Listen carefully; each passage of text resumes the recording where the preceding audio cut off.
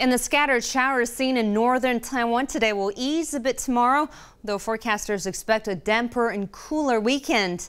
This means National Day holiday activities are likely to be overcast in the north.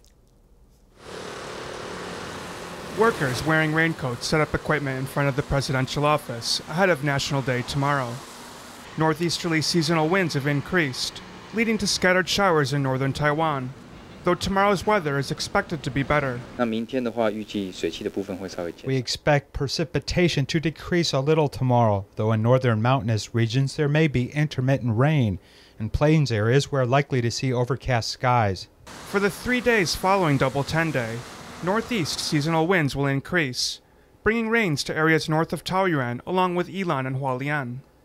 With a cool air mass following, temperatures will fall across Taiwan. Forecasters added that the rain in northern Taiwan could continue into next week.